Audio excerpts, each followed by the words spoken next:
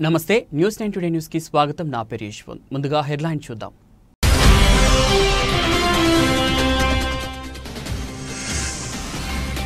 విశాఖ నగరంలో ఘనంగా రథసప్తమి పర్వదినం. సూర్య భగవానునికి నమస్కరిస్తూ నిర్వహించిన నూట ఎనిమిది సూర్య నమస్కారాల కార్యక్రమం.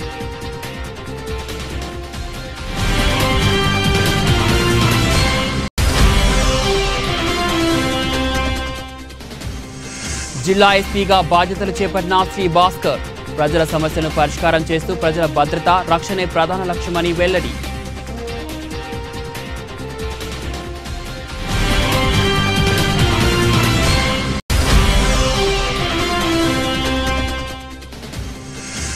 తిరుమలగిరిలోని శ్రీ సూర్య భగవాన్ ఆలయంలో మంత్రి చామకూర మల్లారెడ్డి రథసప్తమి సందర్భంగా సతీ సమేతంగా ప్రత్యేక పూజలు.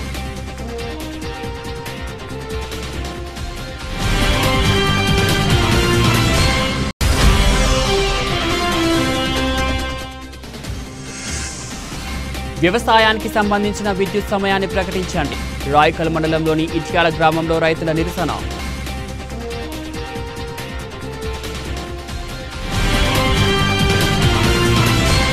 రథసప్తమి పర్వదినం సందర్భంగా విశాఖ నగరంలోని సూర్య భగవానునికి నమస్కరిస్తూ నూట ఎనిమిది సూర్య నమస్కారాలు కార్యక్రమం జరిగింది. బీచ్ రోడ్లో గల గాదిరాజు ప్యాలెస్ మరియు యోగ విలేజ్లో కార్యక్రమాలను నిర్వహించారు. నూట ఎనిమిది నమస్కారాల్లో భాగంగా పలు యోగా ఆసనాలు వేశారు. సూర్య నమస్కారాల కార్యక్రమంలో పలువురు యోగా నిష్ణాతులు పాల్గొన్నారు. సూర్యోపవాసనలో ముఖ్యమైన అంశం సూర్య నమస్కారాలు. సూర్యోదయన సమయంలో బాణుడి కిరణాలు శరీరానికి తాకే విధంగా చేసే యోగాసనాలు మనసును శరీరాన్ని ఉత్తేజంగా ఉంచుతాయి.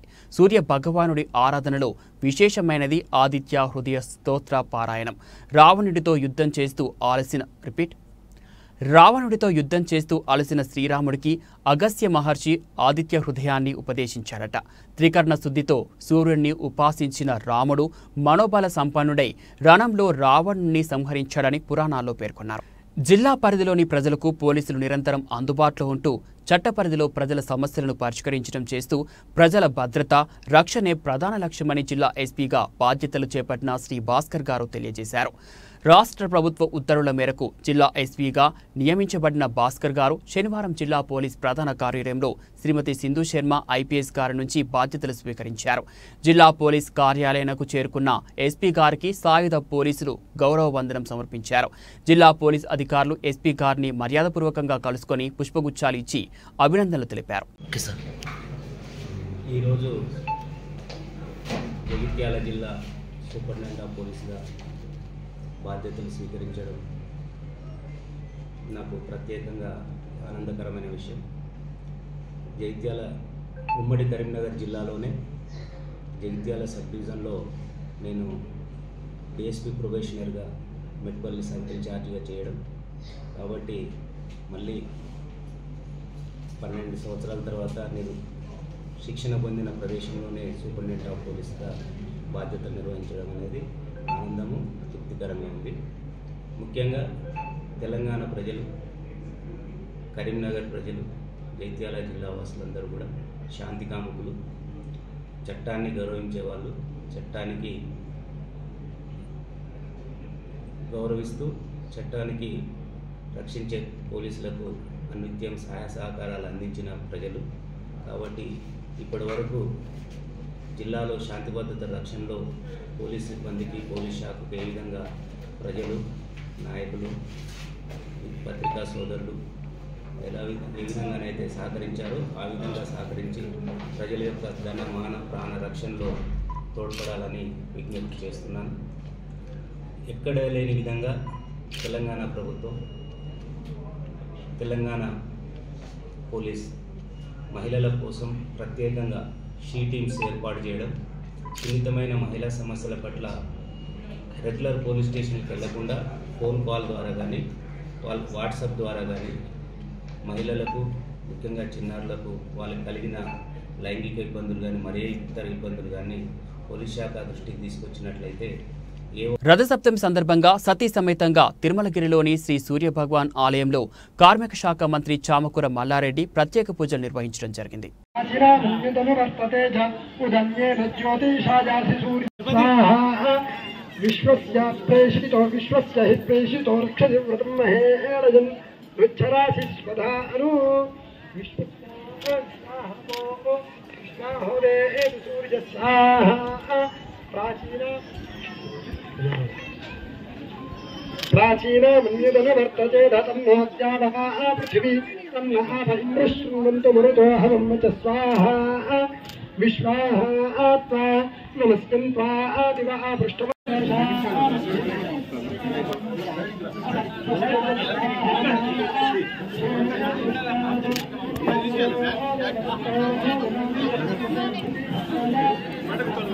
రాచకొండ కమిషనరేట్ మల్కాజ్గిరి జోన్ డీసీపీగా జానకి ధారావత్ ఐపీఎస్ ఈరోజు బాధ్యతలు స్వీకరించారు. అనంతరం మర్యాదపూర్వకంగా రాచకొండ సిపి డిఎస్ చౌహాన్ ఐపీఎస్ని కలిశారు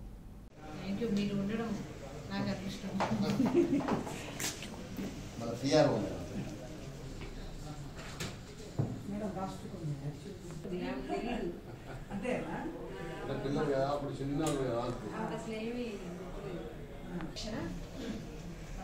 పిల్లలు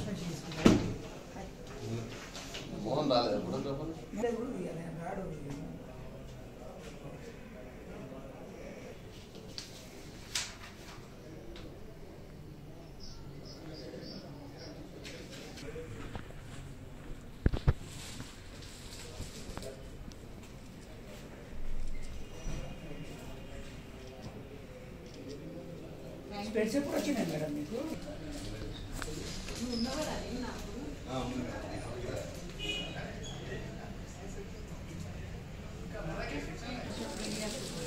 అలా అయితే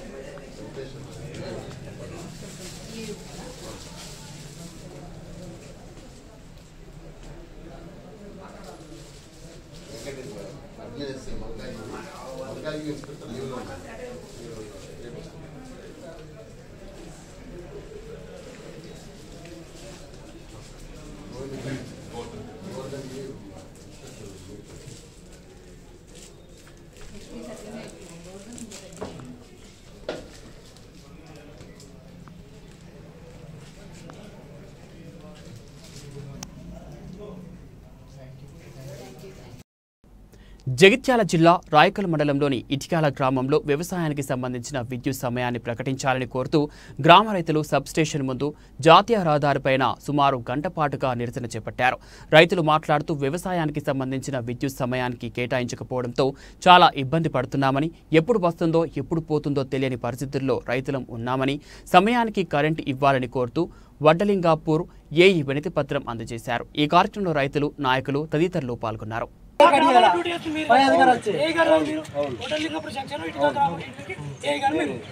మీరు ఒక గంట ఒక గంట నీరు కరెంట్ త్రీ పేజ్ ఎక్కువ. ఏసారి ఇరవై గంటల కరెంట్ ఉంటుందా? ఒక గంట. సమయానికి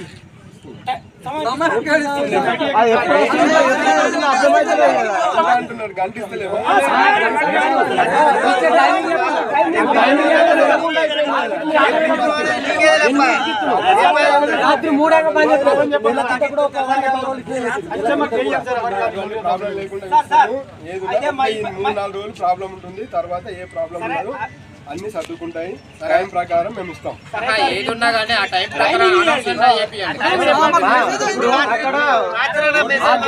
ప్రాబ్లం ఉంటే మీరు ఆ ప్రాబ్లం చెప్పొచ్చు కదా మరి. ఈ టైం నుంచి ఈ టైం దాకా ఇస్తున్నాము ఆ ప్రాబ్లం ని మీరు తెలుసుకొని మాకు ఆన్సర్ ఇవ్వచ్చు అది లేకనే పాయ్ జై జవాన్! జై కిసాన్! జై జవాన్! జై కిసాన్! ఈ మేము ఇవాళ ధర్నా చేయడానికి మొదటి కారణం ఏంటంటే సమయ పాలన లేని కరెంట్ వస్తుంది. మాకు ఇరవై నాలుగు గంటల కరెంట్ ఇస్తామని గవర్నమెంట్ అనేది సభలలో ప్రతి సభల్లో చెప్పడం జరుగుతుంది. ఇరవై నాలుగు గంటలు కాదు ఇచ్చే పది గంటలు కూడా లేదు మాకు కరెంట్ ఇచ్చేది. ఆ పది గంటల్లో కూడా రెండు గంటలు ఒకసారి రెండు గంటలు ఒకసారి రెండు గంటలు ఒకసారి. అది ఎప్పుడు వస్తుందో ఎప్పుడు పోతుందో తెలకుంటుంది రైతులకు చాలా ఇబ్బంది అవుతుంది. ఒక్క ఈ వాటర్ సరిగా లేవు. ఓ నాలుగు గంటలు వెళ్ళే బావిలా వాటర్ సరిగా లేక వీళ్ళు కరెంట్ ఎప్పుడు ఇస్తాడో తెలక. మనం పోయి ఒత్తుకచ్చుకుంటే రెండు గంటలు నడిచి మూడు గంటలు నడిచి కరెంట్ పోతుంది. ఆ మడ అనేది పురాగా పడతలేదు. మళ్ళా వచ్చే కరెంటుకు ఆ- గంట నీళ్ళు వెళ్తాయి. మూడు గంటల నీళ్ళు ఎత్తిపోసిన తర్వాత నూతి వెళ్ళేటి గంట నీళ్ళు.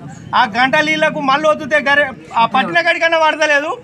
ఆ మక్కలు ఎండిపోతున్నాయి. ఈ వాటర్ లేక మాకు ఏమైనా కానీ కరెంట్ ఒక టైమింగ్ ప్రకారం ఇవ్వండి. మీరు ప్రొద్దున ఆరు గంటల నుంచి ఆరు గంటలకు ఇస్తారా? లేదు నాలుగే గంటలు ఇద్దాం కరెంట్ అని అంటే ఆ నాలుగు గంటలు ఏ టైం నుంచి ఏ టైంకి ఇస్తారు? పన్నెండు గంటలు ఇస్తే పన్నెండు గంటలు ఏ టైం నుంచి ఒక- ఏ టైంకి ఇస్తారు? మాకు ఒక సమయం కావాలి. ఈ సమయం నిర్ధారించకుండా మీ అడ్డగోలుగా మీకు నచ్చినప్పుడు కరెంట్ ఇచ్చుకుంటూ పోతే ఆ ఇచ్చిన కరెంటుకు మాకు ఫాయిదా లేకుండా పొలం పట్టకుండా అన్ని ఎండిపోతున్నాయి. మాకు సహకరించగలరు. విద్యుత్ డిపార్ట్మెంట్ కూడా మాకు సహకరించగలరని మనవి. జై జవాన్! జై పెండింగ్లో ఉన్న స్కాలర్షిప్ ఫీజు రియంబర్స్మెంట్ విడుదల చేయాలని అఖిల భారత విద్యార్థి ఫెడరేషన్ ఏఐఎస్ఎఫ్ జిల్లా కౌన్సిల్ ఆధ్వర్యంలో స్థానిక కొత్త బస్టాండ్ వద్ద తెలంగాణ తల్లి విగ్రహం ముందు ఏఐఎస్ఎఫ్ నాయకులు విద్యార్థులు అధిక సంఖ్యలో పాల్గొని ధర్నా కార్యక్రమాన్ని చేపట్టారు. ఈ కార్యక్రమానికి ముఖ్య అతిథిగా ఏఎస్ఎఫ్ తెలంగాణ రాష్ట్ర అధ్యక్షుడు కశిరెడ్డి మణికంఠారెడ్డి హాజరై మాట్లాడుతూ కేంద్ర రాష్ట్ర ప్రభుత్వాలు అవలంబిస్తున్న విద్యా వ్యతిరేక విధానాలను ఏఐఎస్ఎఫ్ వ్యతిరేకిస్తూ ఉందని కేంద్ర ప్రభుత్వం పది శాతం రాష్ట్ర ప్రభుత్వాలు ముప్పై శాతం ఈ బడ్జెట్లో విద్యారంగానికి నిధులు కేటాయించాలని పెరిగిన నిత్యావసర సరుకుల ధరలకు అనుగుణంగా మేస్ కాస్మెటిక్ ఛార్జీలు పెంచాలని అదేవిధంగా గత మూడు సంవత్సరాల నుంచి స్కాలర్షిప్ ఫీజు రియంబర్స్మెంట్ అందక విద్యార్థులు ఇబ్బందులు పడుతున్నారు అని మండిపడ్డారు. జిందాబాద్ జిందాబాద్! కేంద్ర రాష్ట్ర ప్రభుత్వాలు ఇలా విద్యారంగాన్ని పూర్తిగా విస్మరిస్తా ఉన్నాయి. ఇలా విద్యకు బడ్జెట్లో అధిక నిధులు కేటాయించకుండా విద్యారంగం పట్ల కక్షపూరితంగా కేంద్రంలో అధికారంలో బీజేపీ ప్రభుత్వం రాష్ట్రంలో బీఆర్ఎస్ ప్రభుత్వం వివరిస్తా ఉంది. ఇలా ఏఐఎస్ఎఫ్ జగిత్యాల జిల్లా కౌన్సిల్ ఆధ్వర్యంలో జగిత్యాల పట్ల ప్రధాన చౌరస్తా ముందు పెద్ద ఎత్తున ధర్నా నిర్వహించడం జరిగింది.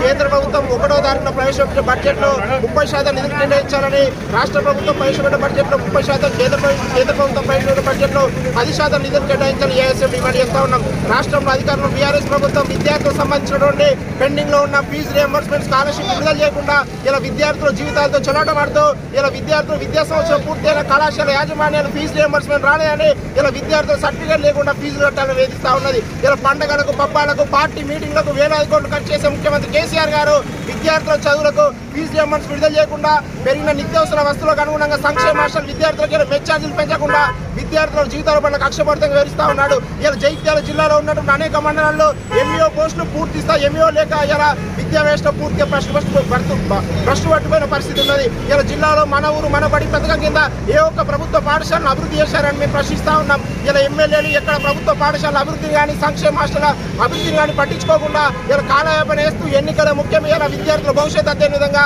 జిల్లాలో ఉన్నటువంటి ఎమ్మెల్యేలు ప్రజాప్రతినిధులు తెలుస్తా ఉన్నారు. మేము వెంటనే ఏఐఎస్ డిమాండ్ చేస్తూ ఉన్నాం. కేంద్ర ప్రభుత్వ బడ్జెట్లో పది శాతం నిధులు కేటాయించి రాష్ట్ర ప్రభుత్వ బడ్జెట్లో ముప్పై శాతం నిధులు కేటాయించాలని రాష్ట్ర ప్రభుత్వం పెండింగ్లో ఉన్న ఫీజు రియంబర్స్మెంట్ విడుదల చేయాలని లేని పక్షంలో అసెంబ్లీ సమావేశాన్ని అడ్డుకుంటామని ఈ సందర్భంగా ఎస్ఎంఏ వ్యతిరేక విధానాలను నిర్వహిస్తూ ఈరోజు జగిత్యాల జిల్లా కేంద్రంలో స్థానిక న్యూ బస్ స్టాండ్ వద్ద ఈరోజు ధర్నా చేపట్టాము. అదేవిధంగా గత మూడు సంవత్సరాల నుంచి స్కాలర్షిప్లు కావచ్చు ఫీజు రియంబర్స్మెంట్ కావచ్చు బకాయిలు చాలా వరకు పెరిగిపోయినాయి. వెంటనే ఈ బకాయిలను విడుదల చేయాలి. అట్లాగే జిల్లా వ్యాప్తంగా చూసుకున్నట్టయితే రాష్ట్ర వ్యాప్తంగా చూసుకున్నట్టయితే గురుకులాలకు గుడులు లేని పరిస్థితి ఉంది. అద్దె భవనాల్లో విద్యార్థులు ఇరుకిరుకు గదుల్లో కూర్చుంటూ చదువుకుంటూ పడుకుంటూ అదే గదిలో విద్యను అభ్యసిస్తున్నారు తక్షణమే ఆ గురుకులాలకు సంక్షేమ హాస్టళ్ళకు పక్కా బాణాలు ఏర్పాటు చేయాలి. అదేవిధంగా జిల్లా వ్యాప్తంగా పద్దెనిమిది మండలాలు ఉంటాయి ఎక్కడ కూడా రెగ్యులర్ ఎంఈఓ లేరు. విద్యా పర్యవేక్షణ పూర్తిగా కరువైపోయింది. అట్లాగే ప్రభుత్వ పాఠశాల కూడా చూసినట్లయితే మౌలిక వస్తువులు లేవు. గత రెండు వేల పన్నెండు నుంచి రెండు వేల ఇరవై మూడు వరకు చూసినట్టయితే ఒక్క డిఎస్సి పోస్టు కూడా లేదు. ఖాళీగా ఉన్న ఉపాధ్యాయ పోస్టులు చాలా ఉన్నాయి. వాటిని వెంటనే భర్తీ చేయాల్సిన అవసరం ఉంది. మన ఊరు మన మనబడి ప్రణాళిక కింద నిధులు కేటాయించినప్పటికీ అవి ఇప్పటి వరకు కూడా అందని పరిస్థితి ఉంది. అట్లాగే జిల్లాలో పాఠశాలలు ఉన్నాయి. ఆ పాఠశాలలు కూలే పరిస్థితి ఉంది. జిల్లా వ్యాప్తంగా ఇలాంటి సమస్యలు చాలా ఉన్నాయి. అట్లాగే విద్యారంగానికి కేంద్ర రాష్ట్ర ప్రభుత్వాలు బడ్జెట్ను కేటాయించడంలో విఫలమవుతున్నాయి. తక్షణమే బడ్జెట్ను కూడా విడుదల అని చెప్పి ప్రధానంగా ఏఎస్ఎం అఖిల భారత విద్యార్థి సంఘంగా మేము డిమాండ్ ఇస్తున్నాం ఇదే కనుక రిపీట్ అవుతే ఖచ్చితంగా మేము ఏఎస్ఎం ఆధ్వర్యంలో జిల్లా వ్యాప్తంగా తమ రకాలుగా ఉద్యమాలు ఉత్పత్తి చేస్తామని చెప్పి హెచ్చరిస్తున్నాం. చదువుతూ పోరాడు చదువుకే పోరాడు. కలియుగ ప్రత్యక్ష దైవం అరసవల్లి శ్రీ సూర్యనారాయణ స్వామి వారి జయంతి సందర్భంగా నిర్వహించిన రథసప్తమి వేడుకలు శుక్రవారం అర్ధరాత్రి నుంచి ఘనంగా ప్రారంభమయ్యాయి.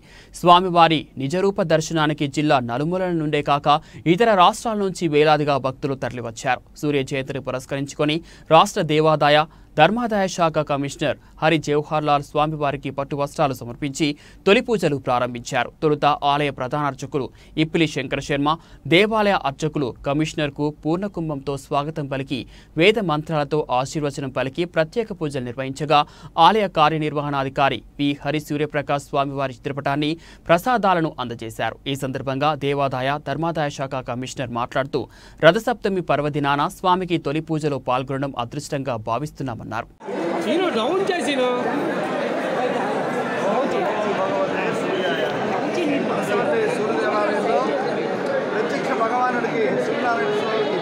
ఉత్సవం దించండి.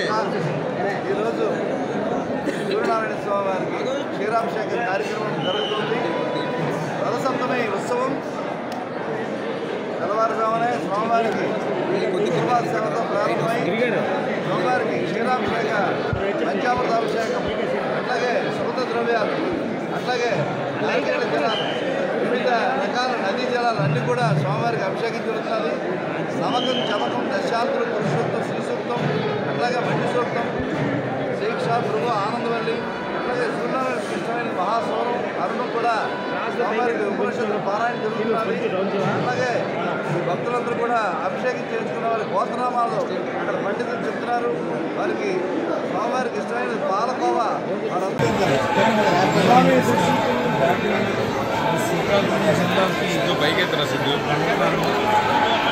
భారతదేశ చరిత్రలో రాష్ట్ర చరిత్రలో శ్రీకాకుళం అరసవల్లి సూర్యనారాయణ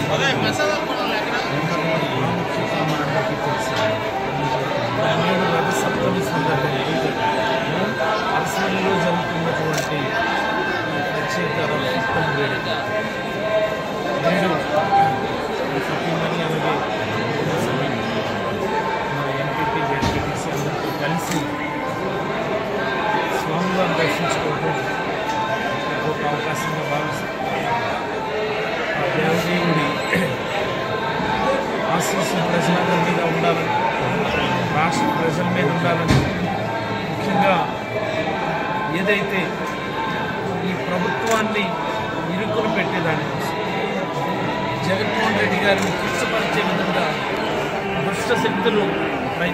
చేస్తూ ఉన్నాయి వాటన్నిటి నుంచి కూడా రక్షణ కల్పించాలని మనస్ఫూర్తిగా. ఈ యొక్క మహోత్సవాన్ని గొప్పగా భక్తి శ్రద్ధలతో దేవదేవుని యొక్క కృపా కటాక్షాలు ఉండాలని రాష్ట్రం అంతటా కూడా సుభిక్షంగా ఉండేటటువంటి ప్రజావళికి ఆ దేవదేవుడి యొక్క ఆశీస్సులు ఎప్పుడూ మెరుగా ఉండాలని. అలాగే ఈరోజు మన రాష్ట్ర ముఖ్యమంత్రి వర్యులు అలాగే రాష్ట్ర దేవాదాయ శాఖ మంత్రులు వీరందరి యొక్క సహకారంతో ఈ ఈ యొక్క కార్యక్రమం దిగ్విజయంగా జరగాలని.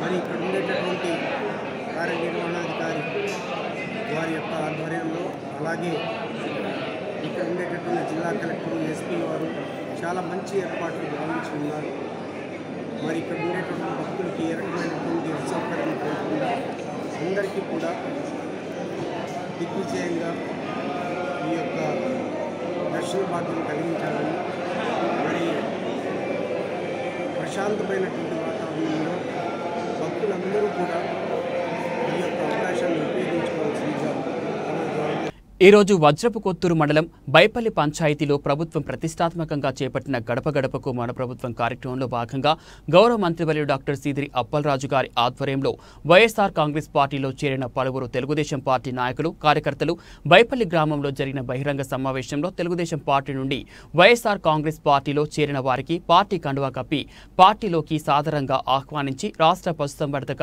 పాడి పరిశ్రమ మరియు మత్స్యశాఖ మంత్రివర్యులు డాక్టర్ సీదిరి అప్పలరాజు పార్టీలో చేరిన వారిలో పోలాకి శశిభూషణ్ తెప్పల కృష్ణమూర్తి దున్ను కుబేరు పరుసుపల్లి వందన పరుసుపల్లి నీలవేణి పట్నాన నారాయణరావు తిరునాగారి గణపతి పరుసుపల్లి మోహిని పరుసుపల్లి రాజేశ్వరి బైపల్లి సుగుణ తెప్పల రాజీవ్ పోతనపల్లి బాలకృష్ణ తామాడ దానేష్ తృణగారి గణపతి తెప్పల నారాయణమ్మ తెప్పల వాసుదేవరావు అమర గోపాలరావు జల్ది సురేష్ తామాడ రమేష్ కోడ బాబురావు తిప్పల హిమ గట్టా లింగమూర్తి గుజ్జు వరలక్ష్మి జోగి ఉమావతి వరుసపల్లి పరుసుపల్లి ఢిల్లేశ్వరరావు మరియు తదితరులు ఉన్నారు.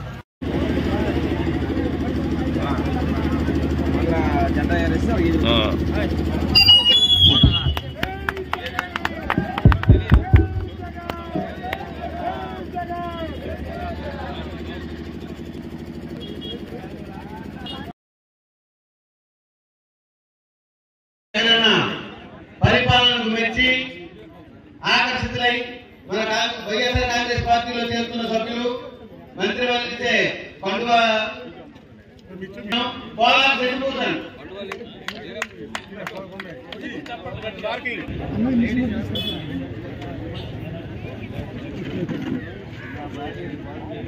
మొదలయా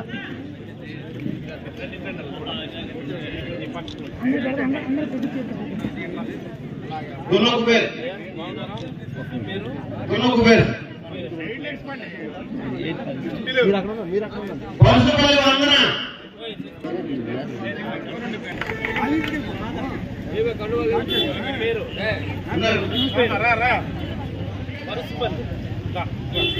తిరునగర్ గణపతి.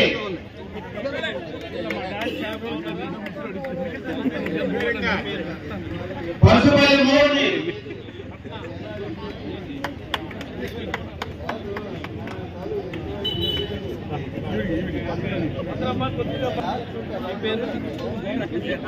బొంగు బాబురావు గారు.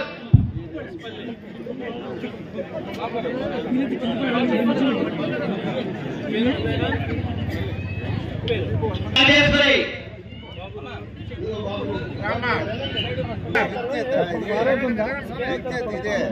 ఇది చెప్పాలి. కదా పార్వతి లింగాలు నారాయణమ్మ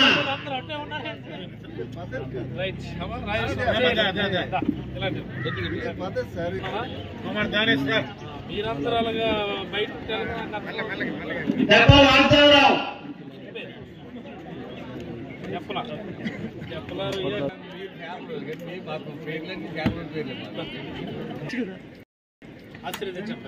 రామాడ రమేష్. హిమావతి. చెప్పండి చెప్పండి చెప్పండి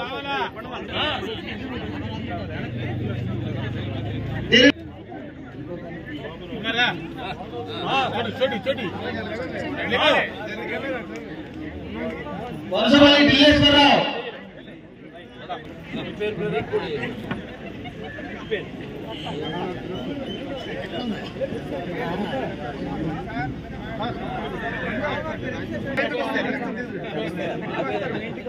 గుజ్జు వరలక్ష్మి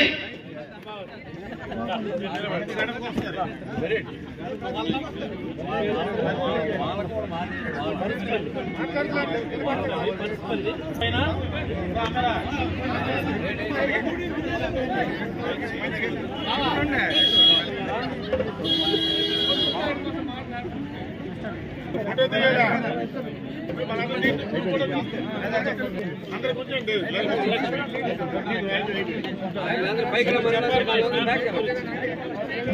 గ్రూప్ ఫోటో తీసి మా చిన్న లేమా అండి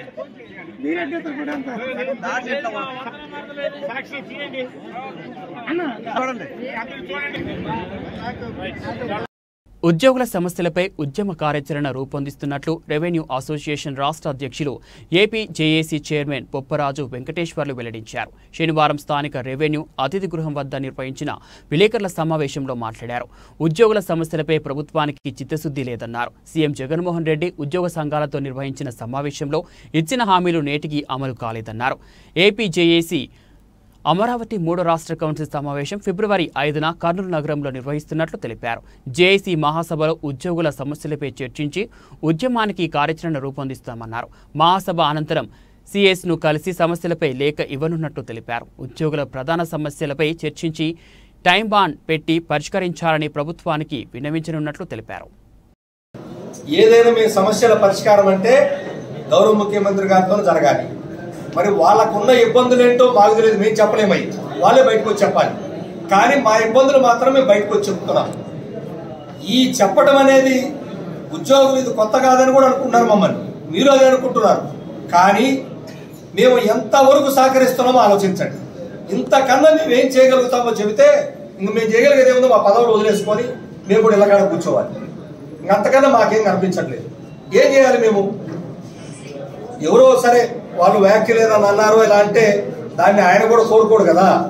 అది ఏదో సందర్భంలో అన్ని ఉంటే అని ఉండొచ్చు కానీ మా మా కోరిక ఏమంటే మీరు అన్ని రకాలుగా పరిష్కారాలు చేస్తున్నారు. మీరు ఇచ్చేటువంటి సంక్షేమ ఫలాలు అందించేది ఉద్యోగులనే సంగతి మీకు తెలుసు మాకు తెలుసు. అటువంటప్పుడు ఎందుకు మా సంతోషాన్ని మీరు ఆలోచించట్లేదు? ఎందుకు మా ఉద్యోగుల యొక్క ఇన్ని లక్షల మంది మీ మీద ఎంతో నమ్మకంతో హోప్తో అందరూ మీకు సహకరిస్తున్నాం. అంటే ఉద్యోగ సంఘాలు సహకరిస్తున్నాయి అంటే పది లక్షల మంది ఉద్యోగులు పెన్షన్లు సహకరిస్తున్నట్టు ఆయన కరోనా టైంలో ప్రైవేట్ సెక్టర్ మొత్తం కూడా కుప్పగూలిపోతే భయపడి బయటికి రాకపోతే మరి మా ప్రభుత్వ సెక్టరే ప్రాణాలకు తెగించి వందలాది మంది ఉద్యోగులను పోగొట్టుకొని ఈరోజు మన కుటుంబాల కనీసం ఒక్క రూపాయి ఎక్స్రేషన్ కాదు కదా? కుటుంబంలో సభ్యుడికి ఉద్యోగాలు కూడా ఇవ్వకపోతే కూడా కష్టపడి పనిచేసిన చరిత్ర ఈ రాష్ట్ర ప్రభుత్వ ఉద్యోగులు. మేము ఆ పని చేయటమే కాదు ఉద్యోగాల్లో మేము చేసిన నెల చేసిన జీతంలో టెన్ పర్సెంట్ కట్ చేస్తే కూడా ఎస్ మాకు చేయండి అని చెప్పి ముందుకు వచ్చినటువంటి వాళ్ళం. అదే కాదు మా జీతాల్లో రెండు రోజుల వేతనాన్ని కూడా రాష్ట్ర ప్రభుత్వానికి ప్రజల ఖర్చు పెట్టండి ఇచ్చినటువంటి చరిత్ర గల ఉద్యోగ సంఘాలు. మరి ఇన్ని రకాలుగా సహకరిస్తున్న మాకు ఆయనే ఆలోచించాలి. మేమేం చెప్తాం? మేము చెప్పదగినంతా చెప్తున్నాం.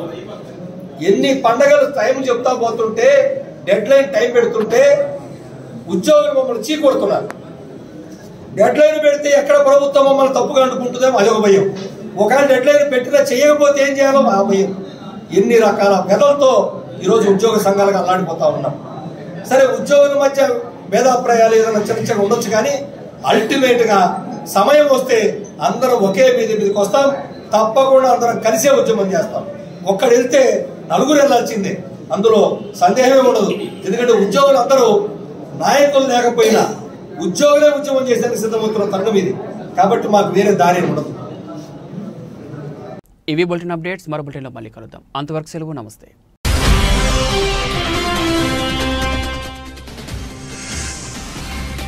విశాఖ నగరంలో ఘనంగా రథసప్తమి పర్వదినం. సూర్య భగవానునికి నమస్కరిస్తూ నిర్వహించిన నూట ఎనిమిది సూర్య నమస్కారాల కార్యక్రమం.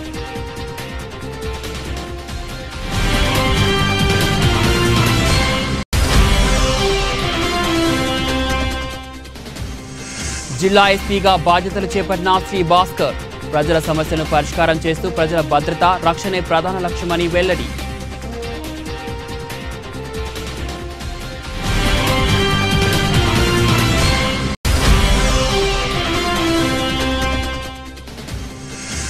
తిరుమలగిరిలోని శ్రీ సూర్య భగవాన్ ఆలయంలో మంత్రి చామకూర మల్లారెడ్డి రథసప్తమి సందర్భంగా సతీ సమేతంగా ప్రత్యేక పూజలు.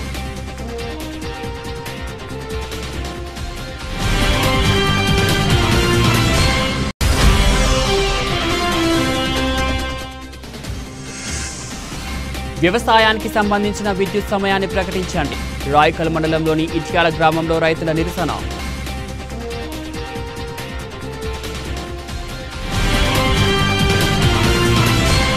బులెటిన్ ముగించే ముందు హెడ్లైన్స్ మరోసారి.